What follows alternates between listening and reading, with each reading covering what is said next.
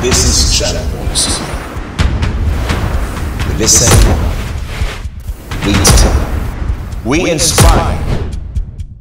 This is our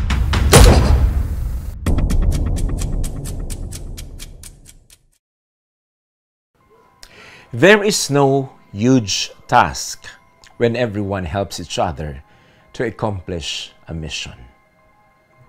There shall never be a hard assignment when everyone involved contributes their abilities into a work benefiting many of our brothers, especially those who live in a conflict affected, geographically isolated, and disadvantaged areas.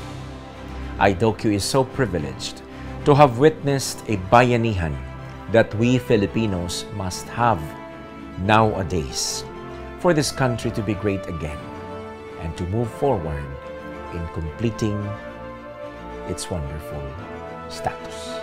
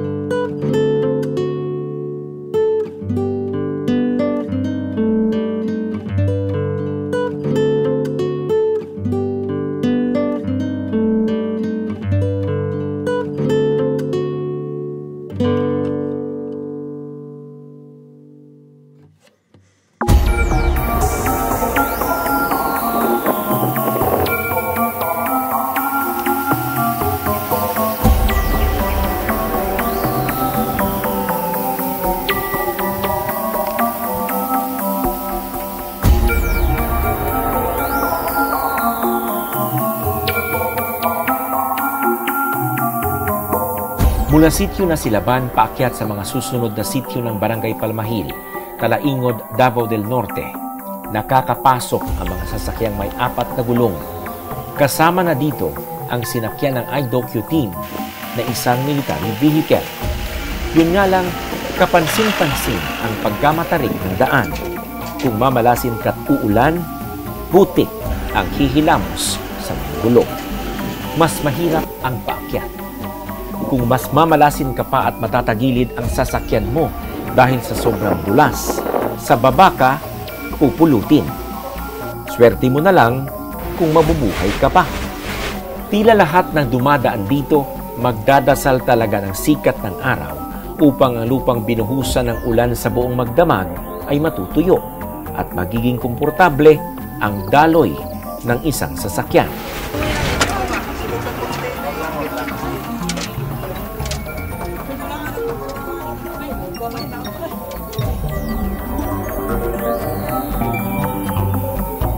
Napahinto ang nauna sa aming military truck. Kahit hindi pa akyat ang daan, malalim naman ito. Hindi na kaya ng gulong na umusad pa sa unahan.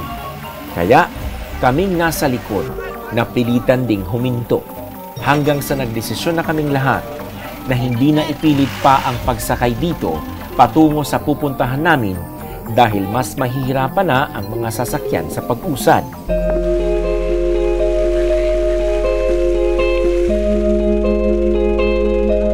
Kaya mula sa pinaghintuan namin, nagsimula na kaming maglakad.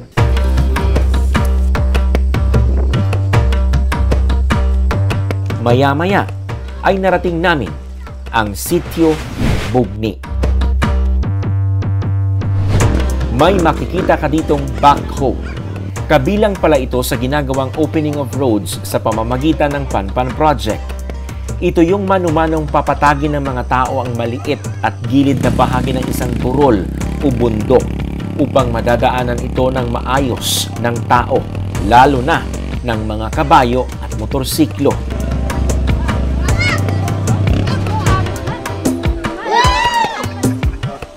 Hindi ito magiging posible kung walang presensya ng pamahalaan. Ang dito ay sumuri at nagpakita ng malasakit. Ang kasundaluhan sa pangunguna ng 56th Infantry Battalion kasama ang gabay ng supervising unit nito na 103rd Infantry Brigade ang nakinig sa hinaing ng mga taga rito sa pamamagitan ng kanilang community support program.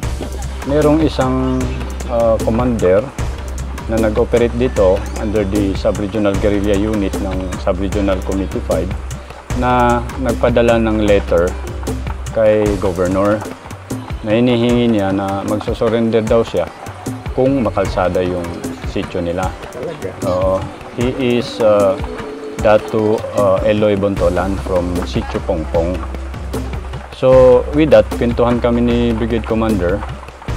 Uh, nagkaroon din siya ng idea na since yun yung gusto talaga ng mga tao is mag-initiate na mag-initiate niya immediately that is why uh, ang ginawa natin dyan we met with the 26 tribal datos ng iba't ibang mga sityo kasama si brigade commander kasama si mayor uh, Libayaw dito sa Talaingod and uh, DPWH so napag-usapan yon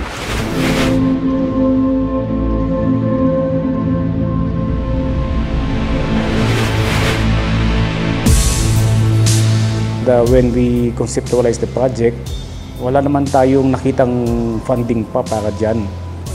At ang mga pundo ay uh, ating pang tinawag sa mga ating kasama sa trabaho, uh, lalo na sa provincial government ng Davao del Norte, sa municipal government ng uh, Talaingod uh, Municipality, sa mga uh, stakeholders nato at saka sa mga kaibigan.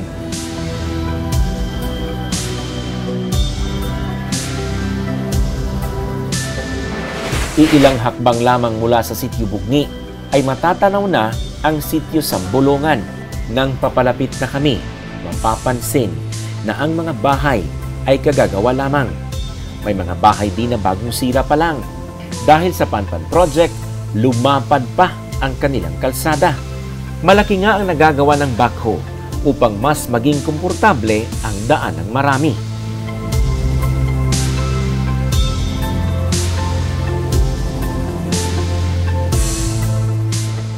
Originally, ang dalan dinhi gikan sa sitio na Silaban padulong sa Bugni, padulong dinhi sa Sambulungan, kitid yun kaayo, piot. Kay lagi tao lang ang makaagi or kabayo. Apan dihang nasayod ang mga residente dinhi sa Sambulungan nga pakalsadahan, ablihan ang ilahang lugar para sa usa ka kalsada pinaagi sa Panpan Project. Sila na mismo ang nag-volunteer nga gubaon nila ang ilahang balay kay isibog nila pakilid. Kay ingon pa sila dako sila paglaom ug dako sila pagtuo nga dili lang opening of roads ang mahitabo dinhi kundi moabot gyud diri ang graveling ingon man concreting sa ilahang kalsada. Mao na nga pagsulod nato dinhi lapad na ang ilahang dalan ug naa sa kilid ang ilahang mga balay In fact, temporary pa daw kuno ang ilahang pagpanday sa maong balay. Para nila, uh, basta na lang sila mapuyan. Mauni nga, kung ihong tanawon, kinitong balay, nga naana dinhi sa sulod sa kalsada, gisibog, o ang resulta, gamay lamang usa kay magpa-assist pa usab sila para sa pagtukod og mga balay. At least lamang daw kuno doon na sila'y um, matulugan. Binhi na to makita nga ingon ani ka kanang naghandom ang mga tribong ata nga makabaton gayod og kalsada. Kay sila na mismo ang mulihok sa kung unsay ah, itabang sa gobyerno kanila. Dili parehas dito sa ubos nga magpunay pa ang gobyerno og kanang badlong magpunay pa ang gobyerno og kanang pasibog sa mga balay tungod sa widening of roads. Pero dinhi sa katribuhan sila na mismo ang mupahawa sa ilang balay para maabot lamang gayud ang kalsada sa ilang tugkaran.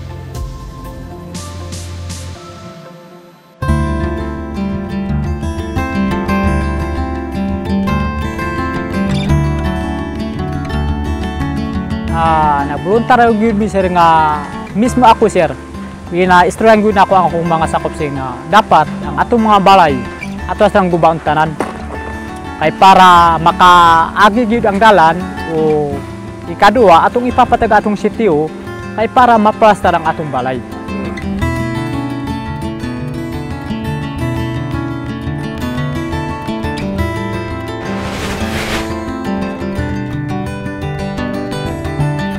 Ang pagpalit gyud namo sa among mga motor sir amo gyud nga sarili sir. Tungod lagi kay nani kamo gyud mi sa mga abakan kay para makapalit mi sa among sarili Kahit pangit ang daan dahil may produkto sila at kumikita sila dito, pilit pa rin silang bumili ng mga motorsiklo upang makakargahan ng kanilang agri-produce.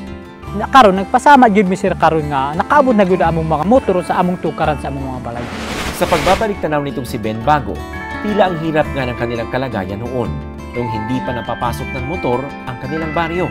ah gikan mi sa Santo Niño sir ah pag abot na mo sana sila ban sir. Biyara na mo ibutang among mga motor. Unya pag baktas na mo o ha- halos ah aban halos maabtan may gabi sa gabi dia sa nasilaban. Ah baktas gibi pa subida sir. Bisa kit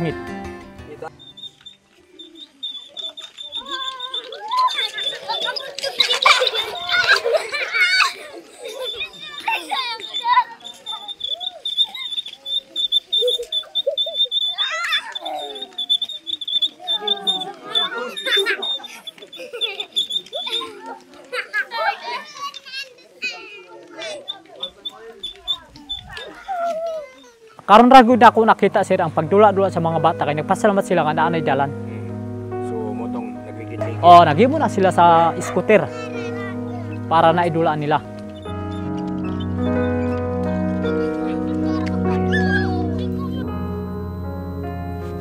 Mayong buntag ang gam.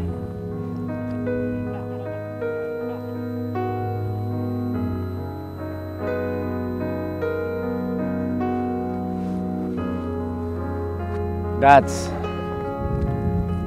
Ari may. Sige lah. Sige, te. Sige, ampe.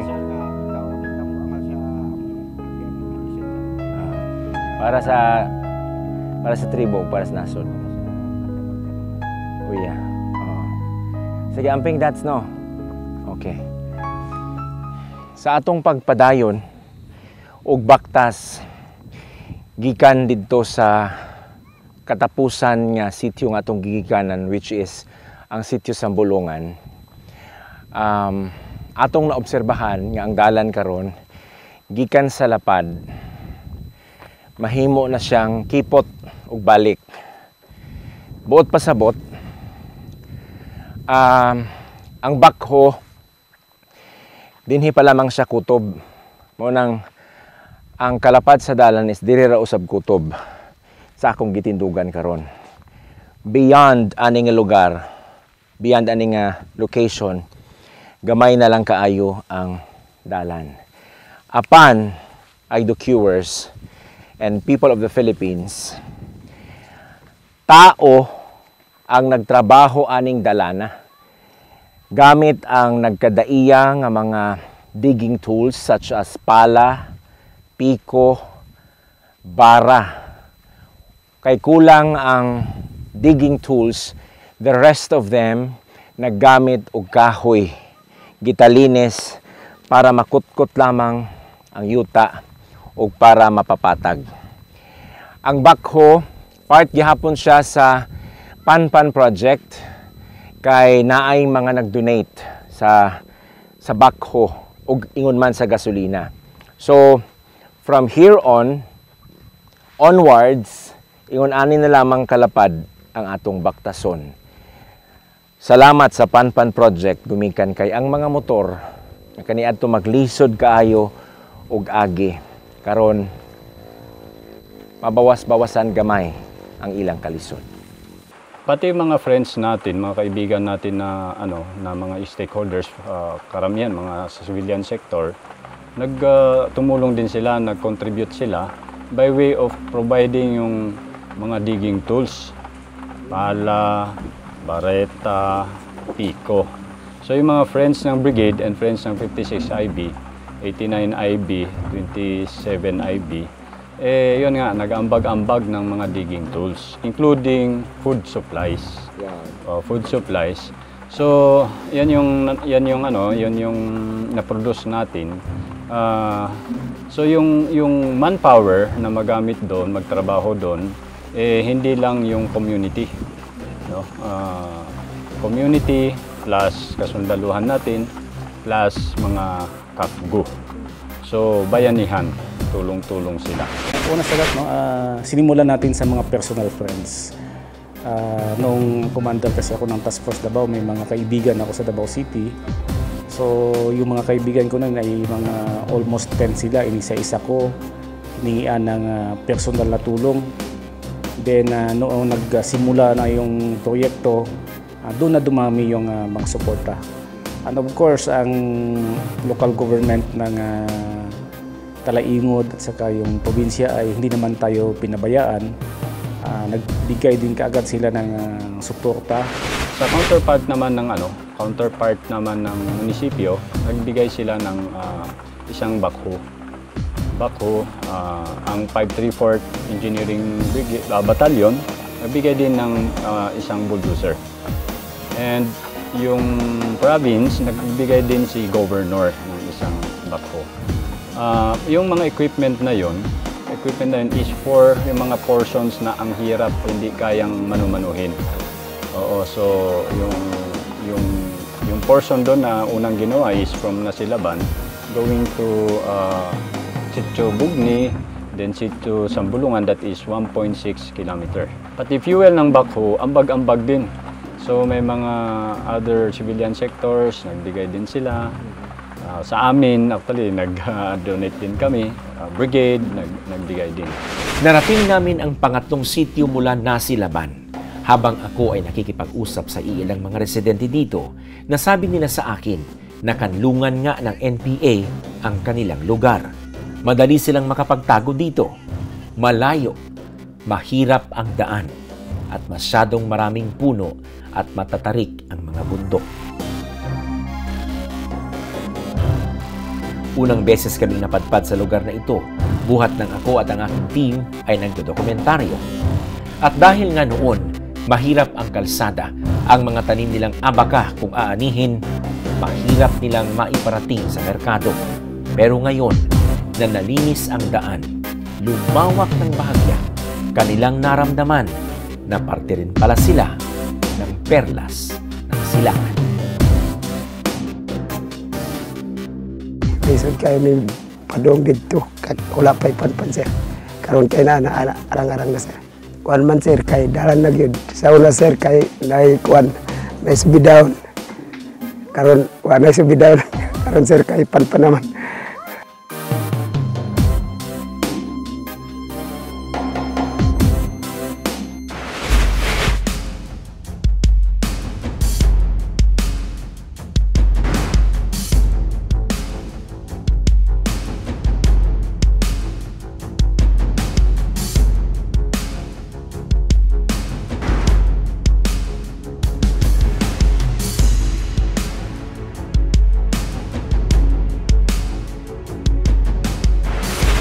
Insurgency begins where the road ends. So yung initiative ng ah, commander, particularly ng 1003rd Brigade, na gawin yung Panpan Road, which is a 27.2 kilometer road. ah, para sa ano lang yan? Ah, para sa mga motorsiklo o sa mga maglalakad lang from Sitio Nasilaban of ah, Barangay ah, Palma Hill going to Sitio Bato of ah, Barangay Dag- Dagohoy, both of Talaingod very strategic, no? Yung ah, Panpan Road na yon because ah, yun yung tinatawag na mobility corridor ng mga insurgents na dating uh, nandoon sa area. So, doon sila gumagalaw. So, pag ginawa natin pag nagawa na yung road na yan, uh, there will be a lot of benefits from the uh, uh, residents of Talaingod. Our core competency is actually on security, di ba? Hindi naman sa construction. Kaya lang, we have the uh, the ability to reach out even in far-flung areas. Parang sa tingin ko, JP, although we are doing this now, this is just a stopgap measure to immediately provide the basic services uh, to, to those who, are, who need us, no? particularly sa mga GIDAs or geographically isolated and disadvantaged areas because the uh, uh, probably yung mga civilian counterparts natin uh, hindi pa sila handa para pumasok sa mga GIDAS areas. But in a, in a lot of areas now, gradually pinapasok na rin nila. And we are really very happy that we have uh, partners from the different agencies and departments of the government helping us out in this counter insurgency ano, uh, campaign natin. Particularly yung mga local chief executives. We are very fortunate dito sa area of responsibility ng uh, 10th ID because the local chief executives are taking the lead in our counterinsurgency effort. Hindi gaanong malayo ang pang-apat na baryong ito mula sa Laslasakan. Kaya, mabilis kaming nakarating dito. Maraming tao rin sa lugar na ito. Pero kapansin-pansin ang hindi maayos na kalusugan ng karamihan. Kaya, sabi nila, kung may problema man sila sa kalusugan, sakaling dapat silang isugod sa ospital dahil madadaanan na ng motorsiklo ang kanilang kalsada, agad-agad ay pwede silang bumaba. Yung ganyan na project can be applied in not only in the area of uh, Davao del Norte, kundi ganun din yung concern ng other IP communities all over. And what a way of getting the uh, support and uh, making the uh, the uh, the tribo feel that they are cared for by the government ano? Then this project ano? Dahil dito nga nakikita na nagtutulungan yung mga iba't ibang ehensya ng gobyerno tapos yung mga taga doon sa lugar din uh, may meron silang ano ownership dun sa project na ginagawa. Ang bagang ay hindi rin gaanong malayo mula dito sa Bayabas, kaya madali din kaming nakarating. Dito, aming nakausap ang kanilang chairman, si Jack Bago. Kanyang naikwento sa amin na tila mga lobo itong NPA at nagkukunwaring tupa dahil sa loob ng napakahabang panahon ay napaniwala sila na ang NPA nga ang totoong gobyerno. Pagtuon na mo sir nga mauna ang tinuod gobyerno sir kay maayo man pag pag pagkuan sa mo pagpasabot ba? Mauna nga nakaingon ni nga nakaingon ang mga tao nga mao siguro ni nga mao siguro ni nga tinuod ang gobyerno kay nagang nagpakita man gid sa ato ah, sir. Nya karon. Kay di kuan na namo nga dili di ay tinuod nga gobyerno na sir. Sa tinuod lang dili di ay tinuod nga gobyerno sila sir kay hangtod nga hangtod nga sigig saad saad sa among among ipamaabot sa ilaha wala mang dinito man sir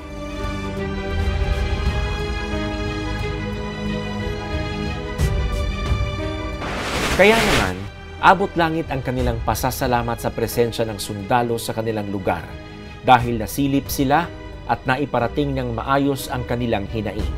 Ang magkaroon ng maayos na madadaanan upang maibenta din nila ng maayos ang kanilang produktong pang-agrikultura. Nang sa ganoon ay umangat din ang kanilang pamumuhay. kung wala pa'y mga 56 IB nga nagsulod diri og 73 og 3rd IB og 10 Brigade Battalion. Wala gid mi nasudlan unta karsada diri sir. O kaning panpan unta sir, wa gid unta ning panpan kung wala ang mga 56 IB ug 3rd IB. 89. Mao na ang among gikasulti sir. Dako kayo magpasalamat sir tungod tungod sa mga sundalo nga tabang gid diri sa amo ah, sir.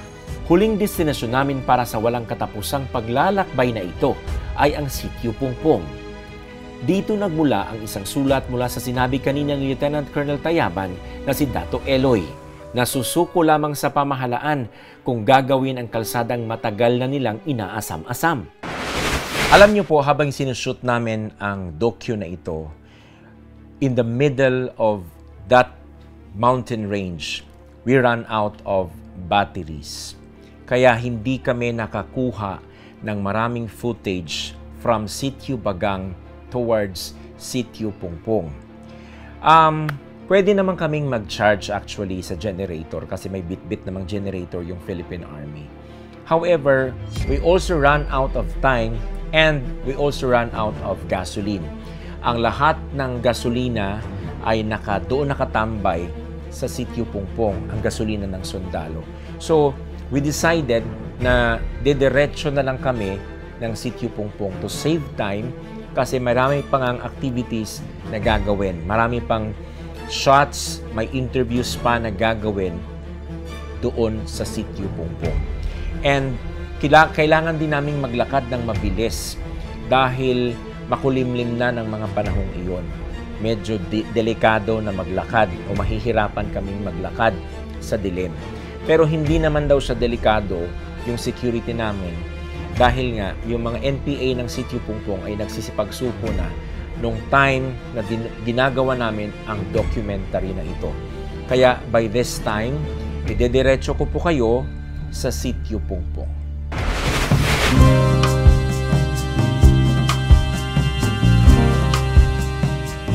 Bago makarating sa huling dalawang sityo na bahagi pa rin ng Talaingon, bago ang boundary ng San Fernando Bukidnon, ito munang pungpong ang mararating mo. Sa sinabi ko nga kanina, nandito si Dato Eloy Buntulan, ang sampung taong mahigit na naging NPA. Dito kanyang ipinaliwanag ang sulat na ipinaabot niya sa gobernador ng Davao del Norte. Ito'y sulat na naipagawa niya sa mga tao niyang marunong sumulat, gawa ng hindi siya marunong bumasa at sumulat.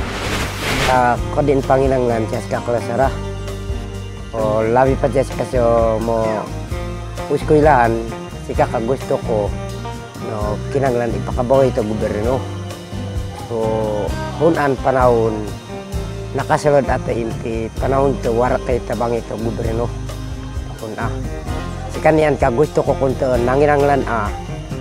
Oh, pakasulod kasi kasi kalau sara pay uskoilan labi pa kasi kasingkil no gusto ko kuno paka sulod dinit ka nami so o dengan na panahon wara kay ati man ato gobyerno di kuntoon nakakita kay ito tinuod na pag atiman to gobyerno so panahon ni gob di di ang makakita sa pag sakto na pag atiman si kanya may gawas ah. Gusto ading gawas so nakita ko ning ati doon og atimanan labay pa siya mga sundalo. Ning atimanon panahon to si ipanpan. Ning atiman eh, ning sunod to si kamabako. Nakakita ato yung panpan kakasundaloan buot pasabot tamigi atiman kay ka mga lumad ato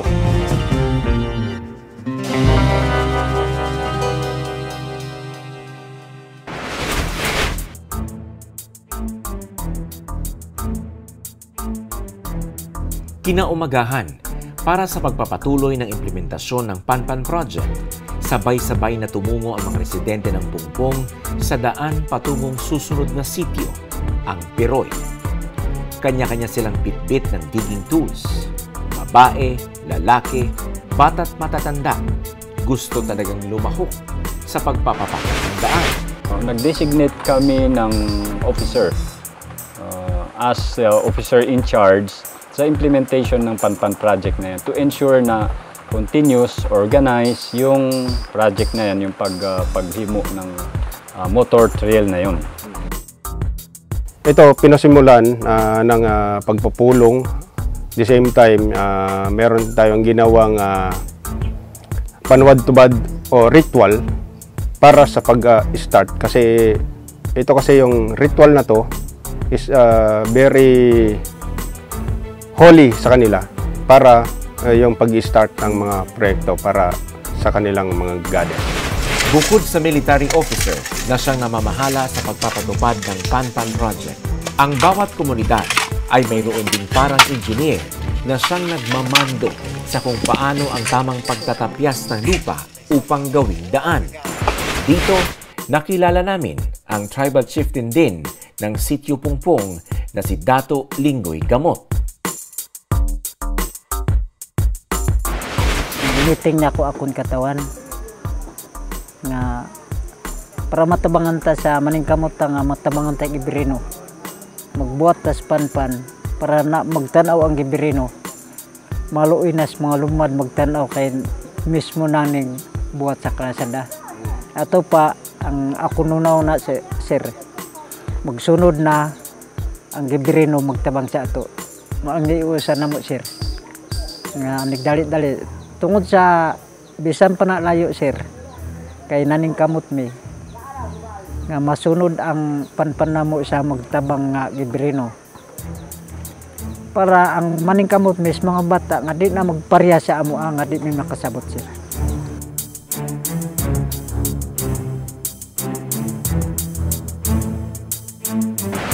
Mabuti na lang pala na kahit sa ganito kalayong lugar ay mayroong kagaya ni Dato Linggoy na marunong magbigay gabay sa kung paano ang pagsasaayos ng isang kalsadang madadaanan ng tao, kabayo at motor.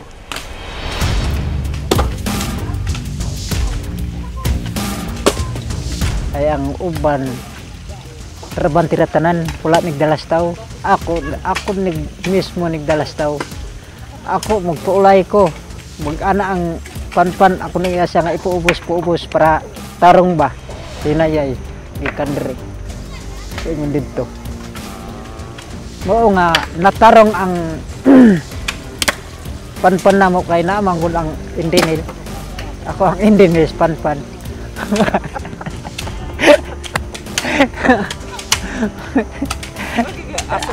Na tudloan?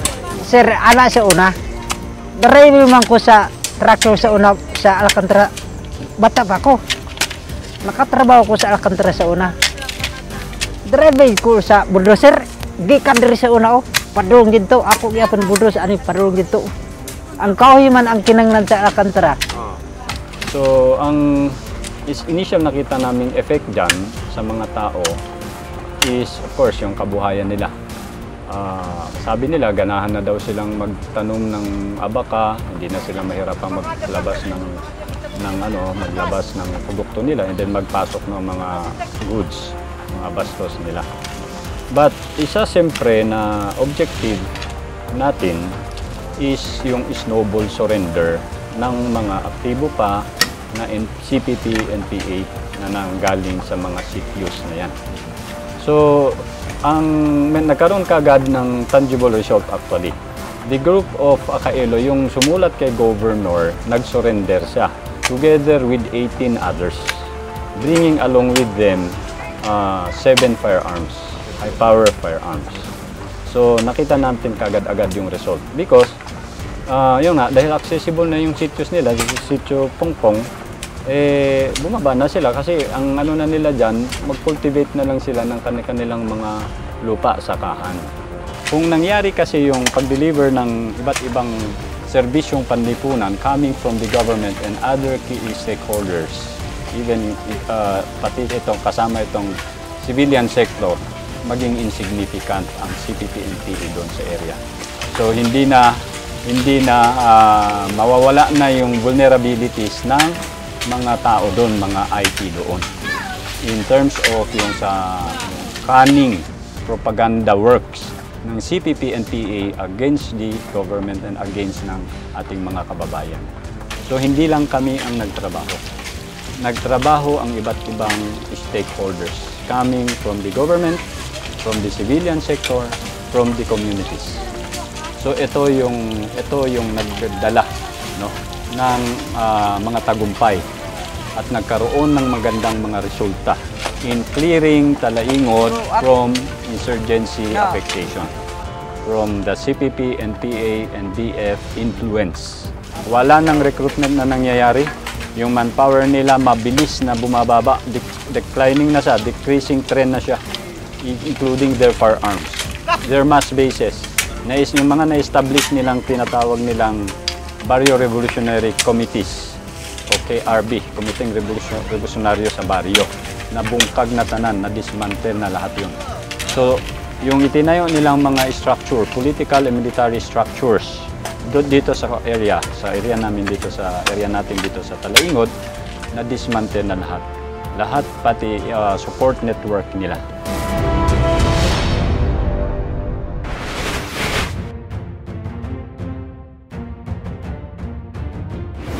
Kinikilala ng kasundaluhan ang tapat na suporta ng local government unit, lalo na ang Provincial Government of Davao del Norte, na agad naniwala sa maraming epektong maidudulot ng agarang aksyon sa kinakailangang kalsada ng mga katutubo.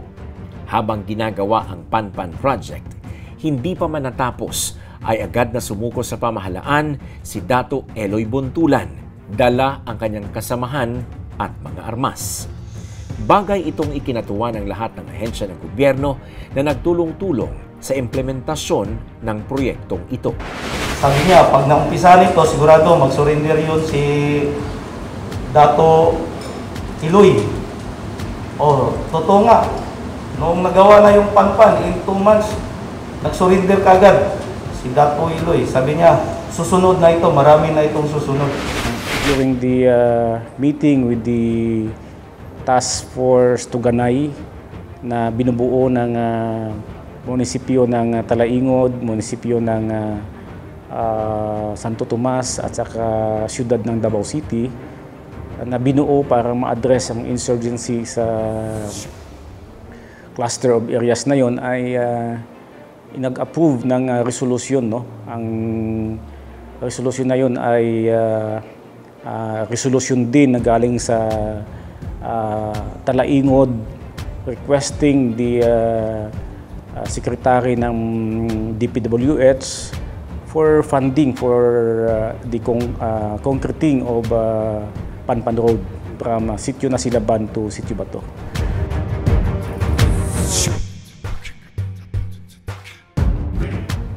habang kinoconstruct natin yung daan, you can get the cooperation of a lot of people. Primarily, yung mga residents dun sa area, then pati yung uh, local government unit, pati na rin yung uh, provincial government, DPWH, and other agencies. So, parang ano, uh, it sends a message na pag tayo magtutulungan, a lot of things can happen. And true enough, dahil dun sa initiative na yun, while the Panpan Road was being built, parang nagkaka nabibridge yung gap between uh, the government and the people, residents in the area, particularly yung mga Atamanobo tribe na taga Talaingod. Unti-unti, nakaka-develop sila ng magandang relationship not only with soldiers, kundi pati na rin yung mga uh, tao natin sa gobyerno. No?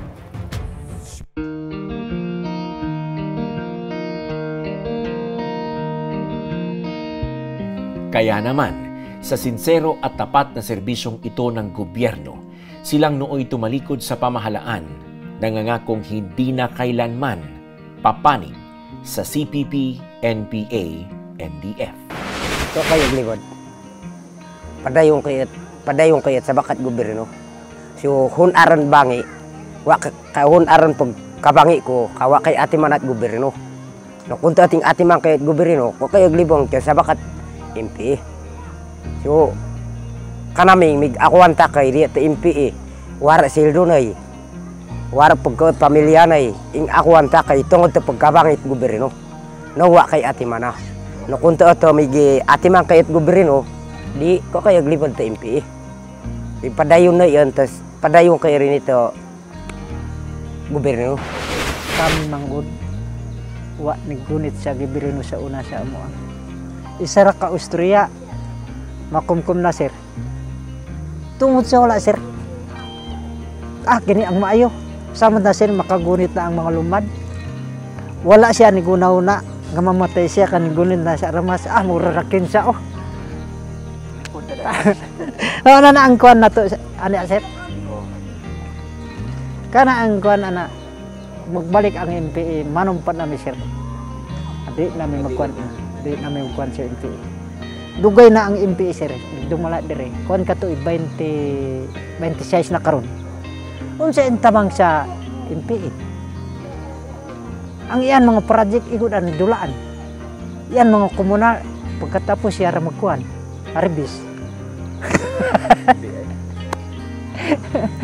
Oo karon nag-ingon nako nga magbalik ang MPI murag di na may sir. Di balo na may sa balaod niya. Na sir kay kuan man nanan man may tanan sa gobyerno sir. Naka kuan man nakaseminar man ni sa kabaintong kuan mga blood nga na nato balikan ang mga legal nga kuan. Ah, hugot nga ako nang ibawal ang mga tao na kung amo adto pa sa MPA. Kay maurag yapon kung mumbag yapon mi sa MPA sir. Walay kausapan sa among pagpuyo. Ah, masaya din tayo na ah, nakikita na tumago sa puso nila yung ating tulong no. Ang intention naman namin sa sundalo na sundalo is ah, hindi lang mabigyan sila ng magandang kalsada later on no. Ah, but gusto din natin na maging kaibigan sila sa pamagitan ng bayanihan. Kasi ah, doon makikita mo na yung sundalo at saka yung mga sibilyan lalo na yung mga uh, IPs natin ay talagang sumusuporta sa ating programa. At ang nadidevelop doon ay yung ah, samahan, yung tiwala.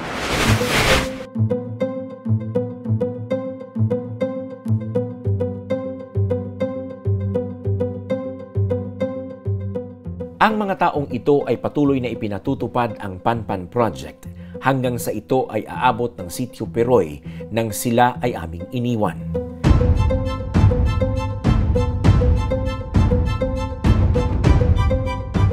Sa aming naintindihan, ang taga Peroy naman ang siyang magpapatuloy ng kanilang sinimulan mula sitio Peroy hanggang sitio Bato.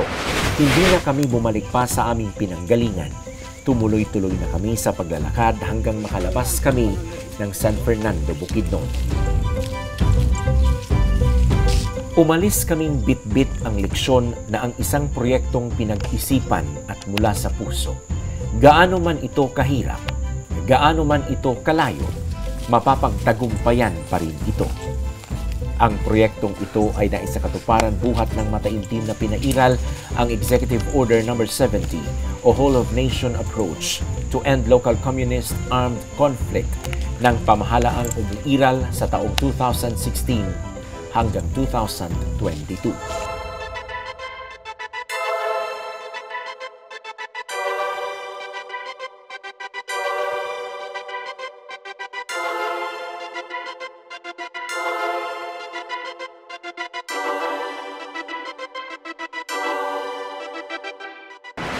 Pero mas naging posible ito nang tapat na naglingkod ang mga taong naatasan upang ipatupad ito. Mula mga sundalo, mga kawani ng local government units, lalo na ang mga umaakyat sa tinatawag na conflict-affected, geographically isolated, and disadvantaged areas.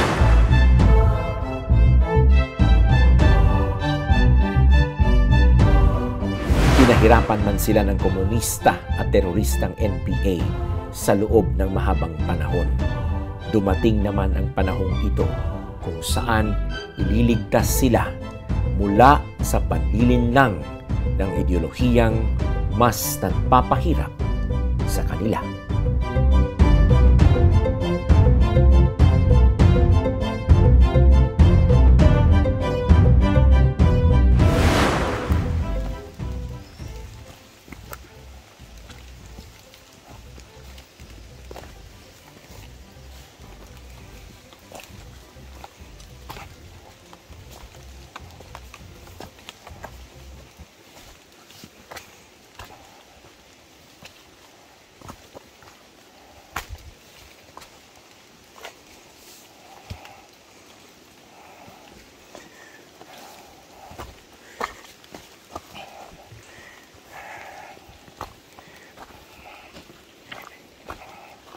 This is one big challenge for everyone who will traverse and try to reach this area because you will have to pass by uh, a very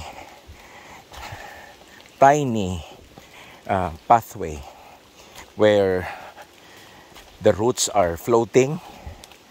So you have to be very careful because it is somehow slippery. It's a bit slippery that's why the the residents of this place our beloved indigenous peoples belonging to the uh, Atamanobo tribe are very eager in creating and constructing their road so they can easily reach areas where they can buy food and they can also reach these areas where they can sell their abaca products or the the raw abaca. So look at this.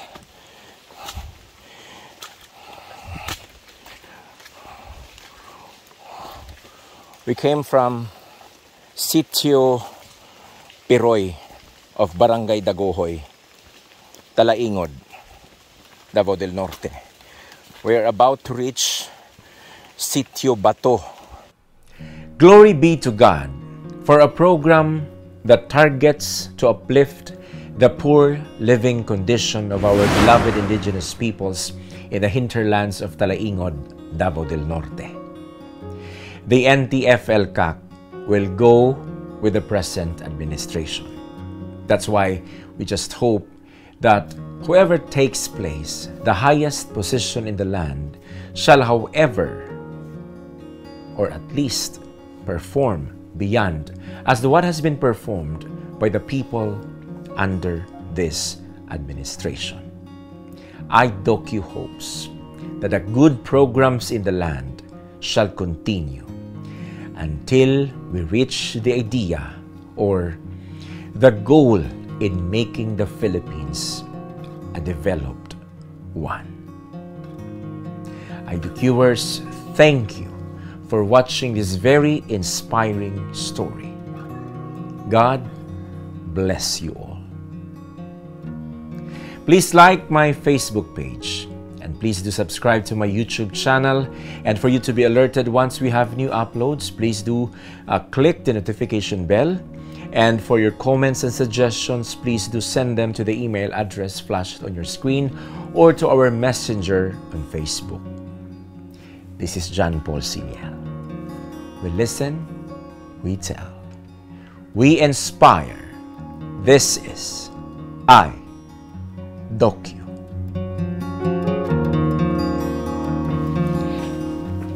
we still uh, we're still hopeful and we believe na sana um, manatili pa rin itong mga kahoy na ito dito